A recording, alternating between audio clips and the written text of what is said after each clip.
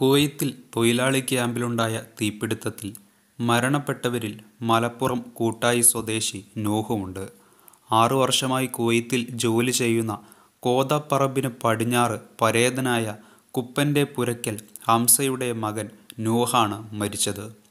നൂഹ് നാട്ടിൽ നിന്നും രണ്ട് മാസം മുൻപാണ് അവധി കഴിഞ്ഞ് കുവൈത്തിലേക്ക് മടങ്ങിയത്. പിന്നീടാണ് തീപിടുത്തമുണ്ടായ ഫ്ലാറ്റിലേക്ക് താമസം മാറിയത് അപകട വിവരമറിഞ്ഞ് നൂഹിനെ ബന്ധപ്പെടാൻ ശ്രമിച്ചെങ്കിലും സാധിച്ചിരുന്നില്ല. തുടർന്ന് കുവൈത്തിൽ തന്നെയുള്ള നൂഹിന്റെ രണ്ട് സഹോദരന്മാർ അന്വേഷിച്ചിറങ്ങുകയായിരുന്നു.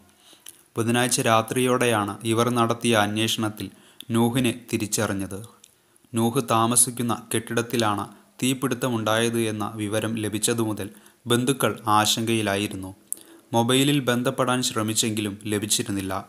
തുടർന്ന് സഹോദരങ്ങൾ നേരിട്ടെത്തി ദുരന്ത പ്രദേശത്ത് അന്വേഷണം നടത്തുകയായിരുന്നു. പ്രവാസ ലോകത്തെ തന്നെ നടുക്കിയ വൻ ദുരന്തത്തിൽ ഇതുവരെയായി അൻപതോളം പേരുടെ മരണമാണ് സ്ഥിരീകരിച്ചിട്ടുള്ളത്. പത്തൊൻപത് മലയാളികളുടെ മരണം സ്ഥിരീകരിച്ചിട്ടുണ്ട്. മങ്കേഫിൻ ബുധനാഴ്ചയാണ് തൊഴിലാളികൾ താമസിച്ച ആറു നില കെട്ടിടത്തിൽ തീപിടുത്തമുണ്ടായത്.